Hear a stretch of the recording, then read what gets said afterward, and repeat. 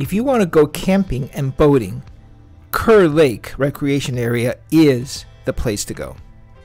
Kerr Lake, which is named after a congressman, was uh, completed in 1952, and the state recreation area was established in 1975. It has over 600 campsites, everything from family camping to group camping, and you can do tent camping and you can do RV camping. Some sites have electric hookups, so the facilities are all there. The campsites are scattered over seven different areas. Each one of them has a boat ramp and showers and bathrooms and changing facilities. All of the camping areas have playground. Satterwhite Point, along with the J.C. Cooper campground right next door, is the main hub of the activity. It is not far off of Interstate 85, and that's also where the visitor center is. While there are lots of facilities for camping and boating, there really isn't much for hiking. There's only a couple of trails inside the park, and uh, they're just basically walk in the woods.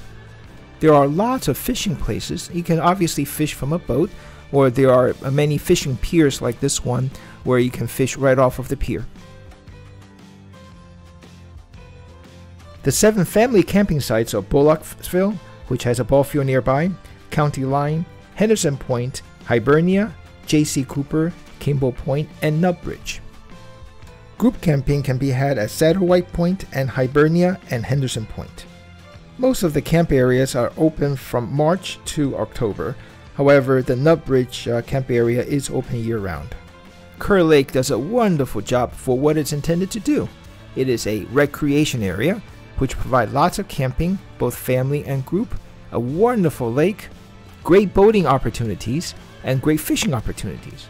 It's a great place to come if you just want to relax, have fun, do some boating, and do some camping. We are on our way to visit all the national parks in the United States. Follow along by hitting the subscribe button below. Hit the notification bell so you know when a new video is released.